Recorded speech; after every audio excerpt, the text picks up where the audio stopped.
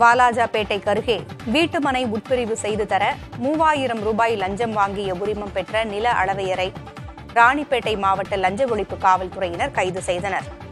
அரப்பாக்கத்தைச் சேர்ந்த விவசாயி சுதாகர் அனந்தலை கிராமத்தில் உள்ள தனக்கு சொந்தமான ஆயிரத்து இருநூறு சதுர அடி வீட்டு மனையை உட்பிரிவு செய்ய வாலாஜா வட்டாட்சியர் அலுவலகத்தில் ஆன்லைனில் மனு செய்திருந்தார். இதனைத் தொடர்ந்து வீட்டுமனை உட்பிரிவு செய்து தர உரிமம் பெற்ற நில அளவையர் அரவிந்த் மூவாயிரம் ரூபாய் லஞ்சம் கேட்டிருக்கிறார். லஞ்சம் தர விரும்பாத சுதாகர் லஞ்ச ஒழிப்பு காவல்துறையில் புகார் அளித்தார். டிஎஸ்பி கணேசன் ஆய்வாளர் விஜயலட்சுமி ஆகியோர் ரசாயனம் தடவிய மூவாயிரம் ரூபாயை சுதாகரிடம் கொடுத்து அனுப்பினர்.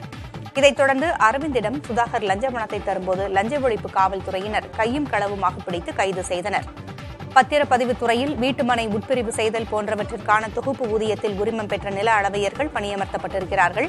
இவர்கள் அரசு ஊழியர் அல்லாத உரிமம் பெற்ற நில அளவையர்கள்.